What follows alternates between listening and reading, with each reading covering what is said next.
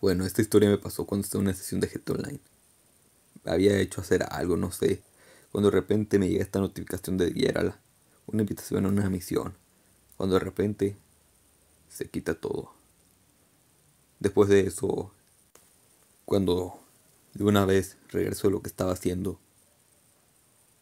Como cualquier sesión le empiezo a picar el botón de abajo de Xbox. A la cruceta. Y pues ahí pueden ver perfectamente cómo le está picando. Yo al principio pensaba que era por el modo historia cuando de repente veo esto. Miren, hasta los carros se van por el suelo. Se van traspasando y todo. Yo pues acabo de onda voy a ver qué es, a inspeccionar. Podemos ver ahí perfectamente que son los signos de pues cuando hay eventos, seguro ser, club de moteros. Es un tipo en una Ford Raptor y pues estaba como un NPC, estaba quieto. Le pongo el menú de pausa y lo abro para ver si todo estaba bien o no sé si había jugadores. Cuando de repente me doy cuenta que estoy en el menú de pausa del modo historia, el GTA V normal. Me saqué de pedo, ahí andaba corriendo y cuando pasa esto se pone lento, así como si fuera el modo historia, pero en el GT Online. Incluso tengo mis armas de GT Online.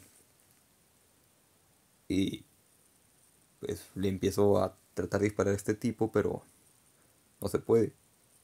Me pone la patrulla, todo mal, todo bien, no, no sé la verdad. Podemos ver de que no me deja dispararle. Así que escapo de ahí. Pues para inspeccionar cosas, ¿no? Yo estaba decidido en buscar un carro, de esos carros que a veces aparecen tuneados en el modo historia. En fin, escojo este Ford GT y me dirijo hasta el casino para ver si era el casino normal o el casino de Diamond. Me choqué con los policías, incluso me disparaban. Pues seguí, miren. Muchos bugs, la verdad. Este, ahí le ponemos la repetición. Sé que me van a decir de que es por tu internet, ¿no? Claro que sí, es una falla de internet. Incluso, observen esto. Como si fuera el modo historia. La radio, incluso están las radios de la nueva actualización. En fin. Observen el drift que me acabo de echar ahí.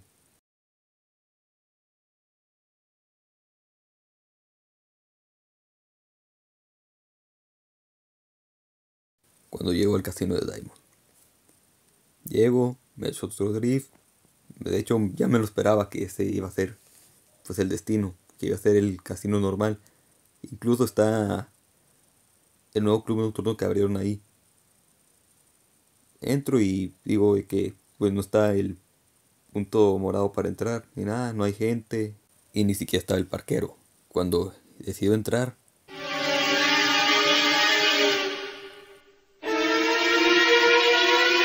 estaba dentro del casino. Es como la cinemática esa que te ponen al principio del GTA Online cuando primera vez visitas al casino. Podía entrar por todo, por el escritorio. Pensaba eso que era una puerta. Incluso podíamos ver allá adentro el casino todo, la ruleta de la suerte, el podio. Y de repente se me traba el juego. Abro el GTA de nuevo. Se tardó un poco, obviamente, pues por lo mismo dicho antes, era el internet. Entro y todo bien, pero pues seguían pasando errores, los clásicos de siempre, ver gente parada, este típico error donde todos se salen. En fin, son cosas del internet. Me sorprende ver cómo los servidores de Rockstar han estado de mal en peor últimamente.